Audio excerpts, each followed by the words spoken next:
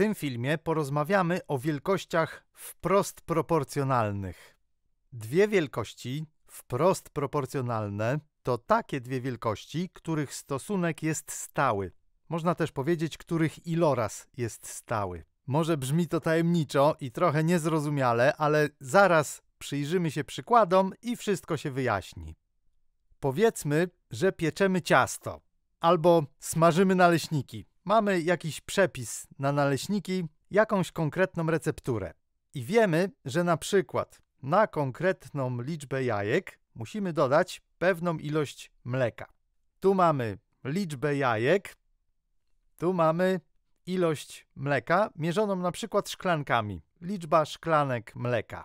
I w tym konkretnym przepisie wiemy, że jeżeli weźmiemy do ciasta jedno jajko, to musimy użyć dwóch szklanek mleka.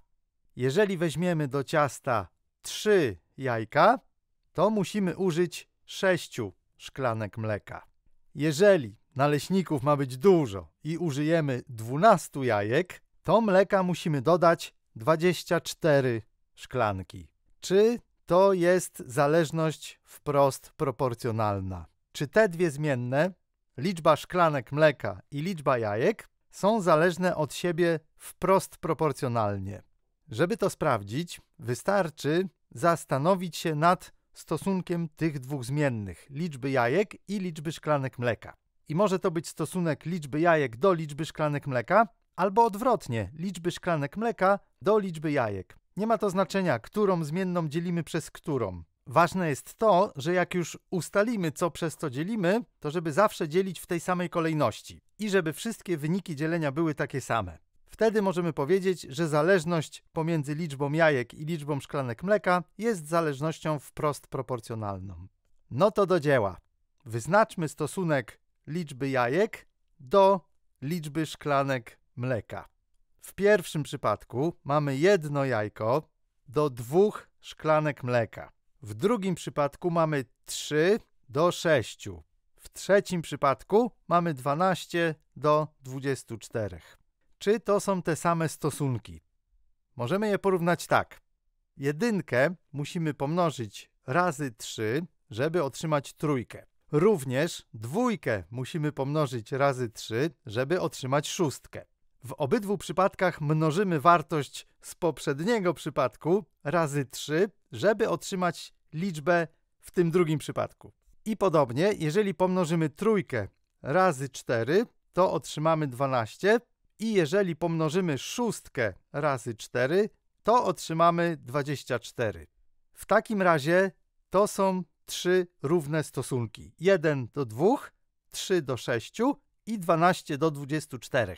W każdym z tych trzech przypadków liczba szklanek mleka jest dwa razy większa niż liczba jajek.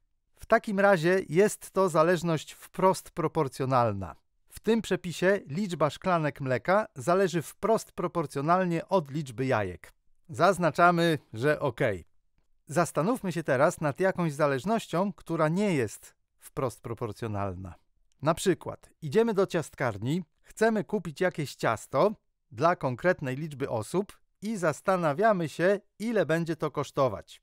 Znowu tabelka, liczba porcji ciasta albo liczba osób, dla których to ciasto będzie przeznaczone i koszt całego ciasta, koszt całości, koszt całkowity. 10 porcji kosztować będzie 20 zł. Jeżeli porcji kupimy 20, to zapłacimy 30 zł. Jeżeli kupimy 40 porcji ciasta, to zapłacimy 40 zł. Zatrzymajcie teraz ten film i spróbujcie odpowiedzieć na pytanie, czy to jest zależność wprost proporcjonalna. Jeśli jest, to dlaczego? A jeśli nie jest, to również dlaczego? Ok. Znowu wyznaczmy wartości liczbowe odpowiednich stosunków.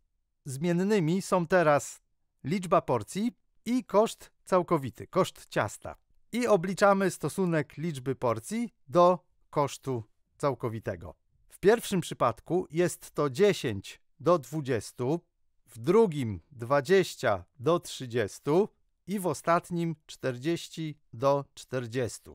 I znowu możemy sprawdzić równość tych stosunków w podobny sposób. 10 musimy pomnożyć razy 2, żeby otrzymać 20, ale koszt ciasta, żeby wynosił 30, to nie możemy 20 pomnożyć razy 2, musimy pomnożyć 20 razy 1,5 albo razy 1,5.